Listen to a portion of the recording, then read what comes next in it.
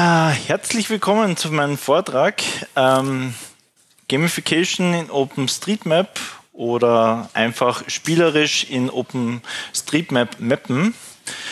Ähm, ja, bin selber OSM-User, bin auch von OpenStreetMap-Verein ähm, Österreich.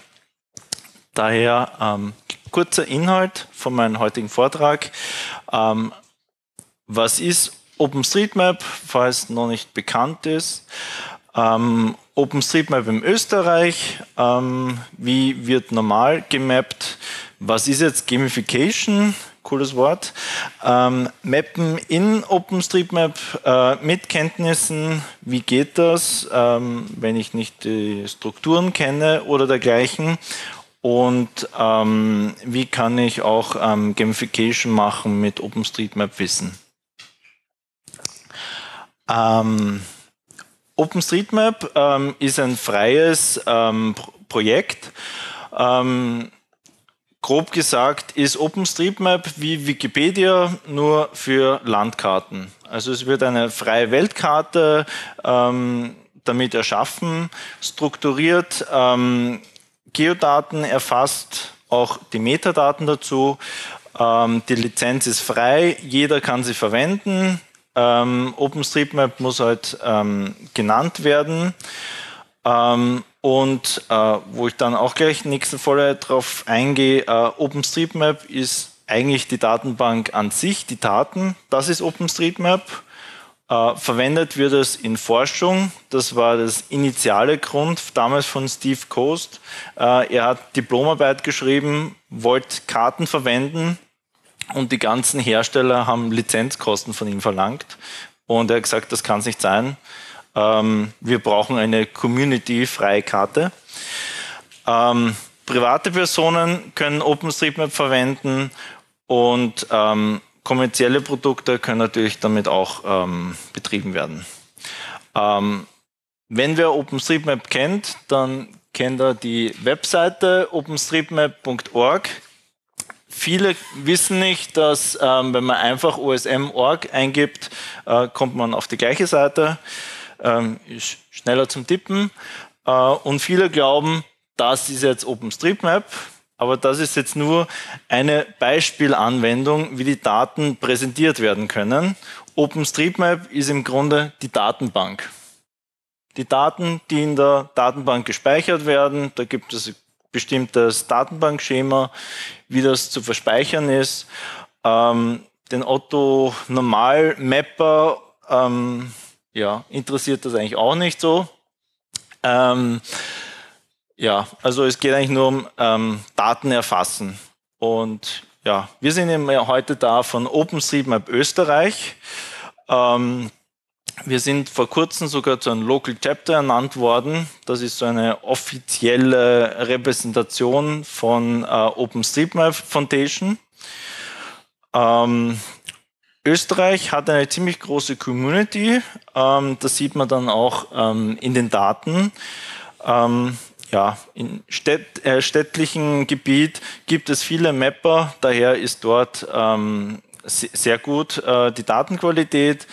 Ähm, beim Land sind wir auch im Vergleich zu Google oder ähm, anderen Anbietern wie hier ähm, auch ähm, ähm, vergleichbar in manchen Bereichen auch besser. Also OpenStreetMap verwende ich persönlich auch immer für Radnavigation, Fuß, zu Fuß gehen.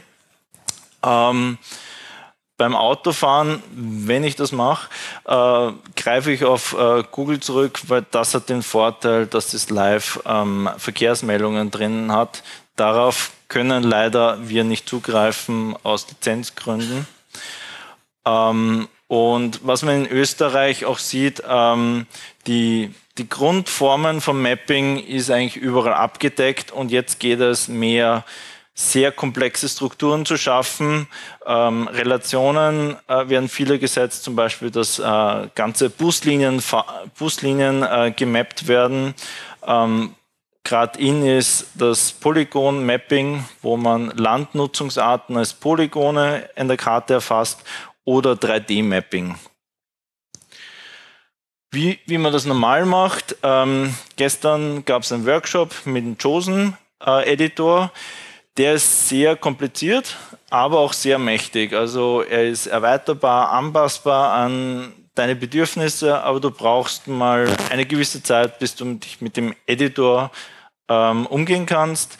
Es gibt ähm, für Webbrowser Idee äh, und da ist der Einstieg sehr leicht. Ähm, man muss einfach nur in der Karte klicken und hat schon seine Straßen und Gebäude gezeichnet.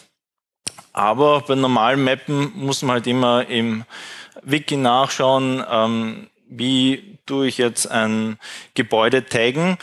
Ähm, und ja, ich muss eben die einzelnen Tag-Schema das kennen. Und deshalb ähm, für einen Otto Normalverbraucher, also auch ähm, zum Beispiel für meine Eltern, ähm, ist Gamification eine coole Sache, weil äh, da werden die Daten erfasst im Zuge eines Spiels. Es ist sehr leicht, ähm, die Usability ist sehr gut von den Programmen, die ich dann auch vorstellen werde. Ähm, man kann sich mit anderen Mitspielern messen und das Schöne daran ist, es wird die Zahl an Mappern auch äh, dadurch erhöht, indem ähm, auch Personen, die jetzt nicht dieses Geo-GIS-Wissen äh, haben äh, aus der Geografie, ähm, dass die auch ihren Beitrag leisten können. Und ja, ist eben aufgabenbasiert und es gibt eben, äh, was ich vorstellen werde, ähm, Smartphone-Apps, wo man ähm, spielerisch das erfassen kann oder auch über einen Computer, Webbrowser gibt es auch ähm, diverse ähm, Programme. Ähm, da braucht man dann schon bei manchen Sachen ähm, Informationen, wie jetzt was getaggt wird, aber das wird dann meistens von den Challenge-Erstellern vorgegeben und das schaut man sich dann einfach in einem Infomenü an und ja, kann loslegen. Was ich vorstellen möchte, ist Street Complete. Das ist eine der, ja, oder die bekannteste Gamification-App im äh, OpenStreetMap. Ähm, ist herunterladbar ähm, von Street Complete äh, App, ähm, ist über einen App Store erreichbar oder auch ähm, die nicht so auf Google Services äh, setzen wollen, äh, auch im F-Droid Store erreichbar. Also ist eine Open Source Anwendung. Äh, damit man taggen kann damit, ähm, braucht man einen OpenStreetMap Account. Der ist schnell äh, erstellt über openstreetmap.org und auch von den Daten her, die man angeben muss. Man muss eine E-Mail-Adresse angeben, sich ein Passwort festlegen und das ist es. Ähm, ja, und die App benötigt dann halt die Berechtigung, dass sie auf den Account zugreifen darf. Ähm, ja, und dann kann es schon losgehen. Und äh, ich verwende das öf öfters zum Spazierengehen oder wenn ich ähm, am Bahnhof auf den Zug warte oder auf den Bus warte, dass ich in, meiner Ge in mein Gebiet was tag. Ähm, ja, und Vorsicht, Suchgefahr. Man verirrt sich oft dann äh, stundenlang, aber es macht Spaß.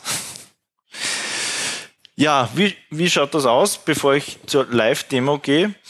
ähm, hat man eine Karte und hat überall solche Pins. Das sind ähm, ja, Anzeichen, dass es dort Challenges gibt. Und es wird versucht durch die Symbolisierung, ähm, zum Beispiel so Haus, ähm, da wird es darum gehen, dass irgendwelche Informationen über ein Haus erfasst werden müssen.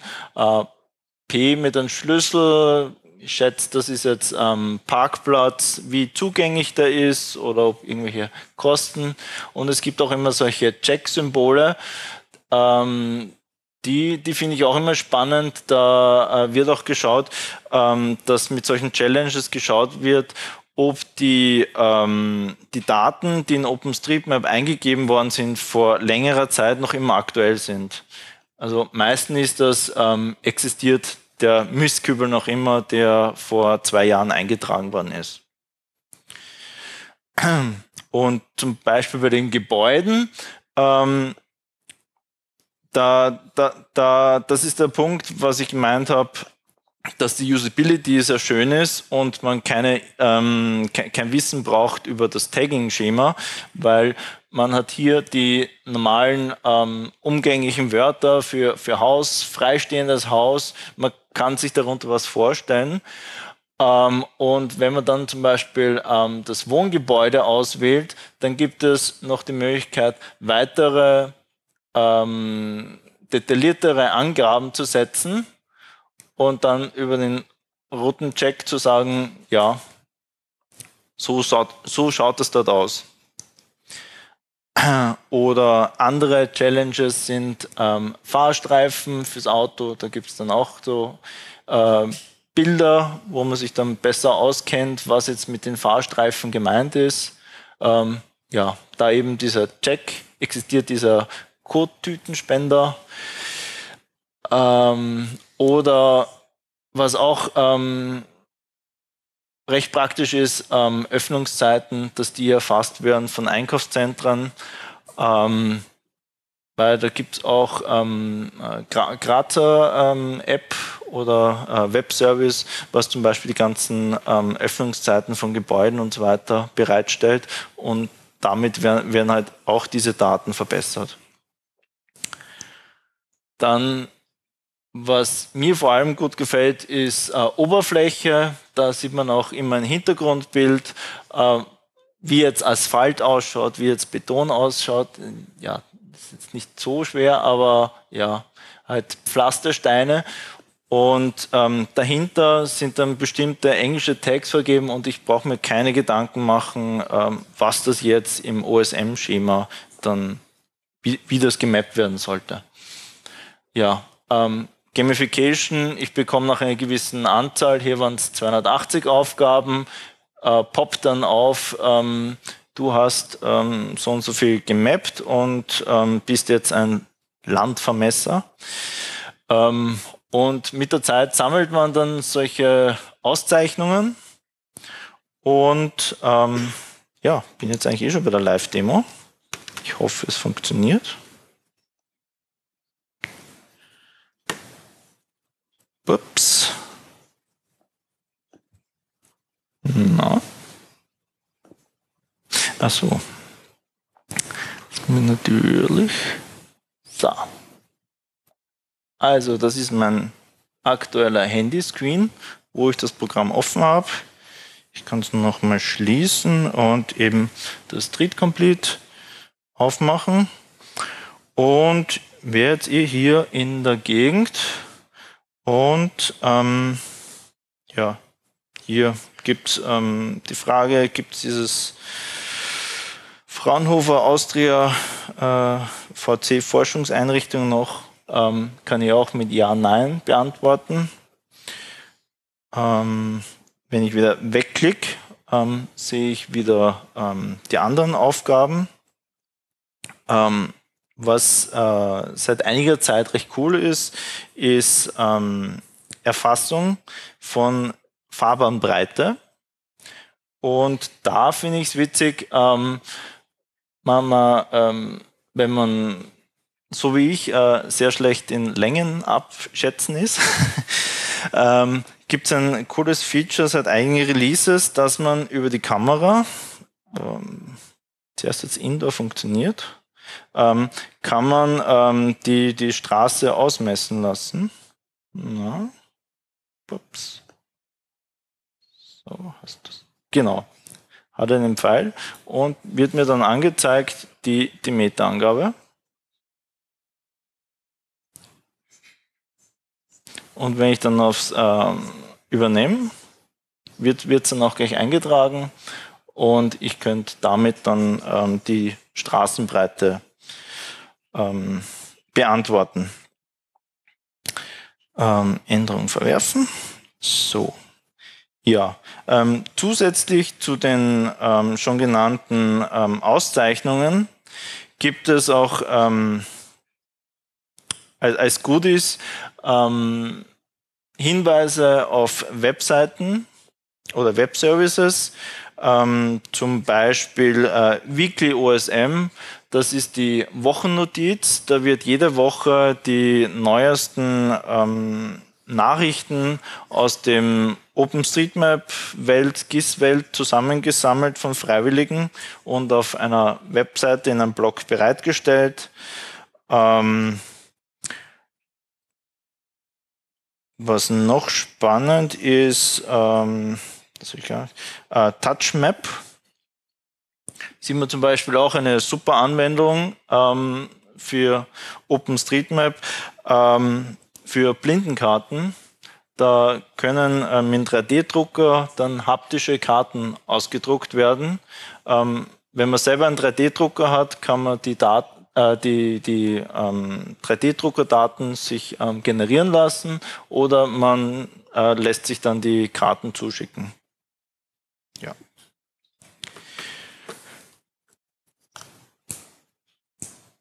So. Ah, ich hätte dann noch zwei Sachen äh, vorgestellt, was ähm, browserbasiert ist. Ähm, hier ist ebenfalls ähm, OSM, es ist eigentlich immer ein OSM-Account notwendig, weil damit die Daten unter einer Person eingestellt werden. MapRoulette sind so Challenges, ähm, ähm, habe ich dann, ja, ähm, da ähm, braucht man halt einen OSM-Editor, den Chosen oder den IDE und kann dann zum Beispiel ähm, Korrekturen machen, dass zum Beispiel äh, kommt oft vor, dass Straßen durch Gebäude durchgehen, dass diese Daten ähm, korrigiert werden.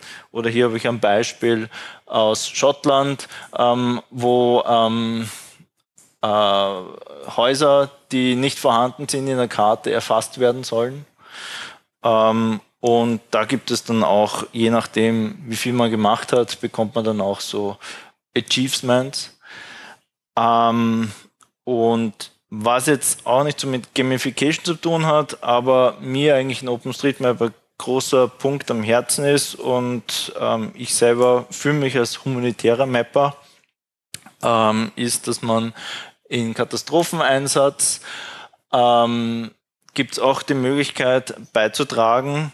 Da gibt es dann oft Mapping-Partys, wo sich mehrere Mapper treffen. Und eben vor kurzem ähm, das Erdbeben in der Türkei war so ein humanitäres Mapping, ähm, wo dann das Schöne ist, ist eine große Community und ähm, ja, in einem kurzen Zeitpunkt, äh, Zeitraum können da Millionen von Leuten ein Gebiet kartieren ähm, hier habe ich dann eh einen Ausschnitt von einer Challenge. Äh, jedes äh, Quadrat ist ein eigenes Mapping-Gebiet für jeden Mapper und da sucht man sich ein Gebiet aus und die sind äh, wirklich sehr ein, einfache Challenges. Da muss man wirklich nur von einem Satellitenbild ähm, abzeichnen, ein, die, die Grundstruktur eines Gebäudes oder eine Straße mit einer Linie nachfahren.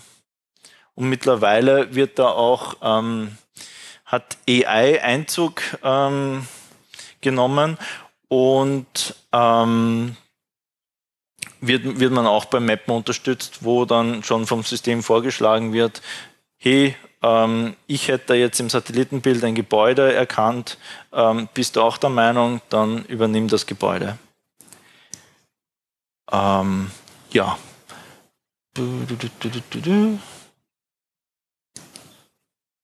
Ja, ähm, wie gesagt, ähm, wer dann am Ende mit meinem Vortrag, ähm, ja, falls noch weiter offene Fragen gibt, ähm, OpenStreetMap-Stand ist ähm, ja in die Richtung. ähm, äh, und äh, ja, können da gerne auch mehr über Street Complete herzeigen. Ähm, und ja, ähm, würde mich freuen, wenn einige auch ähm, Street Complete mal ausprobieren, ausprobieren. Ähm, Finde es auch, äh, wenn man Kinder hat und spazieren geht, äh, su super Anwendung, um die Kinder zu beschäftigen. ähm, ja, und äh, OpenStreetMap bekommt dadurch auch äh, aktuelle und neue Daten dazu. Und ja, danke für die Aufmerksamkeit und ich wünsche noch schöne Linux-Tage.